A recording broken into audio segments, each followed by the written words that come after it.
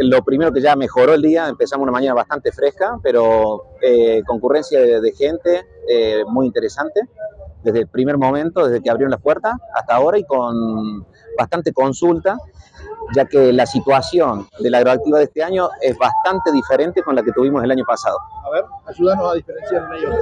Y el año pasado había otra expectativa, otro tiempo teníamos, estaba seco, hoy el tambo tiene otro precio de la leche, digamos, muchas variantes que han cambiado y todas para mejor.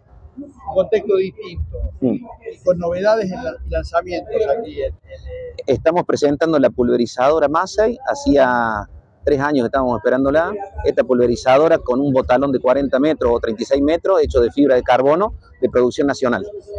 La apertura de, de las importaciones también nos favoreció para que podamos tener un mayor surtido, mayor configuraciones dentro de las líneas mismas, pero realmente hoy tenemos un portfolio muy completo de productos que como lo verán en la muestra se refleja, ¿no? Hablame del portafolio de financiamiento. El portafolio de financiamiento. ¿Qué opciones hay? Eh, venimos a Agroactiva con, una, con unas muy buenas líneas. Eh, Aqua ha conseguido muy buenos convenios con bancos y van a ver en, eh, en las unidades eh, que hay financiación a tasa cero, hasta cuatro años, con, líneas en dólares. Y en pesos estamos con, sobre todo con la línea de Banco Nación, que puede ser muy beneficiosa y se puede bonificar de acuerdo a, distintas categorías de clientes, pero estamos con tres y cuatro años muy competitivos en, en tasas. Y sumado a la, a, también lo que es Acofinance, que es la compañía financiera propia de la marca, ¿no? tenemos líneas en dólares. Tenemos dólares hasta 5 años y 6 para cosechadoras. ¿Qué tasas son ahí? En dólares varían, van desde 0 hasta 5% pueden llegar a ser, depende del plazo.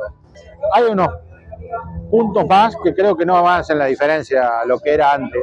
Vos viste que en los últimos meses las tasas se han movido en, la baja. Hoy podemos decir que un promedio de tasa tendría que estar alrededor del 25 y el 30% anual podés encontrar en distintas tasas, distintos bancos, pero entre 25 y 30% se consigue hasta cuatro años.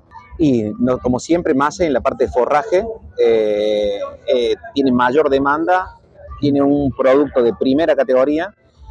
Ahora con la apertura de las importaciones van a empezar a ingresar nuevamente lo que es segadoras, eh, segadora autopropulsada, la rota enfardadora, están presentando la nueva mega enfardadora que, que reemplaza la 2270 de doble compactación el rastrillo giroscópico.